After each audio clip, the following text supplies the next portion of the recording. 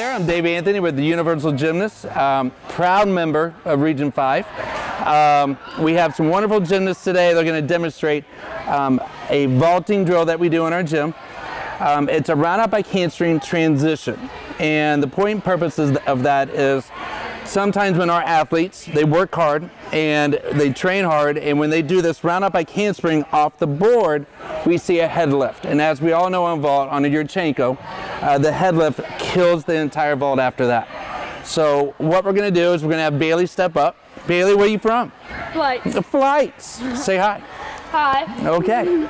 So what Bailee's gonna do, she's gonna stand here, feet together, her head's going to be in. Now what we don't want that Bailee's doing right away, we don't want to pike in the hips completely. We want a more rounded position here, much like the round off turnover on vault, heads all the way in, and we want to drive our arms as hard as we can. So Bailee, when you're ready, drive your arms. Excellent, excellent. Now, what we don't want to see, but we graduate into it, is we don't want the girls to buckle on the board. We never want that because then we know it's a loss of power and that's only going to promote head lift. So we want to keep the legs straight as much as we can, but little by little as they start to do this, it's okay if they bend it first and then they can graduate and get them straight. And even as they get stronger and better at it, you can move the block up and it's more impact when their arms hit. And that's a good um, scenario because it's going to build shoulder strength and understand the timing of the block. Next we have Macy. Macy, where are you from? Capitol City Clips. Uh, nice, nice. Same thing, feet together. Head is rounded, nice rounded shape. She did a great job with that today. Go ahead and go. Excellent. Okay, wonderful job. Love how she threw her arms as hard as she can. And that's the main focus we want to see is an aggressive drive with the arms when most of the time the girls want to lift their head. So this really focuses on that really small portion of that um, vault. Go ahead. Well, your name is? Layla. Layla, where are you from? Universal. Universal. Is that a soccer club?